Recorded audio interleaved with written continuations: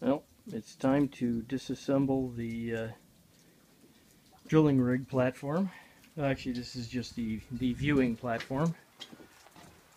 I just kind of lagged it into the wall right there to keep this thing from going anywhere so I could open up the doors and the boys could watch the drilling process. Can't walk on much of this ground right now because it's all complete mud. So you can see the uh, there's a lot of mud. Just to say the very least about it.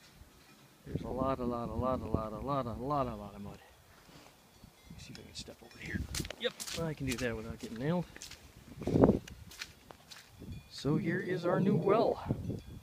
And we'll get a ditch dug to the house. My machine's not going to break through. It needs to be five feet deep. My machine can just about dig five feet. And the frost is down 36 inches, so there's just no way. It That's not even going to be easy for the big machines. So we're going to have to hire someone to do that. But we have water.